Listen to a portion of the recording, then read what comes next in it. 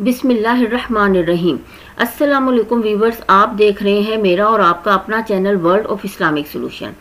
आपके लिए दुआओं का खसूसी तौर पर अहतमाम किया गया है।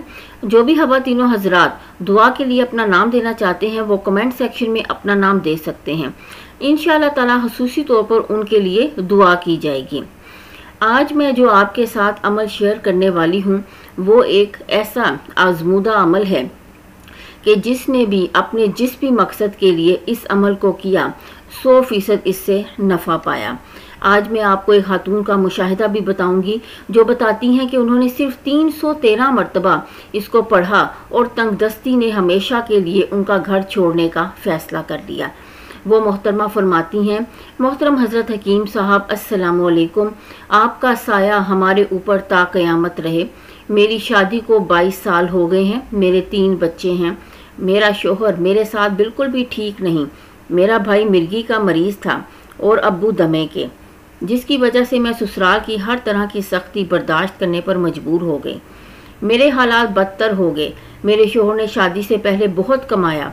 भाई की शादी की, मकान बना कर दिए, कारोबार बना कर दिया, बहन को हॉस्टल में खर्च करके एमए करवाया, इसकी शादी की, लेकिन अब वो बंदा हाथ पर हाथ रख कर बैठा है। मैं नौकरी करती हूँ और बहुत कम खर्च देता है, जिससे गुजारा बहुत मुश्किल से होता है, कि बच्चों के अखराज में अपनी तनख्वाह से मैं करती हूँ। मेरा शोहर जब बाहर था तो इसने हलाल और हराम में तमीज़ नहीं की। शराब पीता था, वहाँ इसने पता नहीं क्या किया कि कंपनी वालों ने इसको निकाल दिया। जब घर आया तो हमारे हालात बद से बदतर हो गए। रास्ते में चलते हुए, आज से तेरह साल पहले मुझे अनमोल खजाना मिला। जब मैंने पढ़ना शुरू किया तो मेरी टेंशन की बीमारी ख़त्म हो गई लेकिन हालात में कोई फ़र्क नहीं हुआ। इस दौरान जब मेरे घर में ज़्यादा टेंशन होती थी तो मैं 21 बार अनमोल ख़जाना पढ़ती थी। इससे कुछ बेहतर हो गया। इसी रमज़ान से पहले मेरे हालात इतने ख़राब हो गए कि मेरे शोहर ने मुझे कहा कि घर से निकल जाओ। बच्चों को साथ ले ले, ले लो और चली जाओ। लेकिन मैं ना गई क्योंकि मैं नौजवान बेटियाँ लेकर कहाँ जाऊँ? इधर अलमारी से मेरे कपड़े भी गायब हो गए और मैं बीमार होकर चारपाई पर लग गई।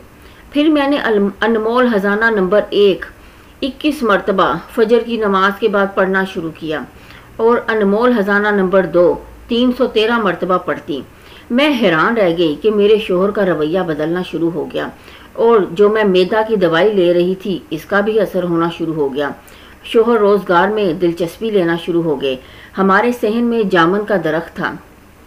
और इसका फल पाँच छः साल से गिर जाता था। जो बच जाता था, वो खुश हो जाता था। पढ़ाई करने से ये असर हुआ कि जामन पर इतना फल पका कि सब हैरान रह गए। मेरा सारा ख़ानदान अबकरी रिसाला पढ़ता है। वीवर्स मुझे उम्मीद है कि आपको मेरी आज की वीडियो पसंद आई होगी। ज़रूर लाइक और शेयर कीजिएगा। और अगर आप हमारे चैनल पर नए हैं तो चैनल को सब्सक्राइब कर दें और साथ ही बेल आइकॉन के बटन को ज़रूर प्रेस किया करें, ताकि मेरी हर नई आने वाली वीडियो से आप मुस्तफ़ हो सकें। शुक्रिया, अल्लाह हाफिज़।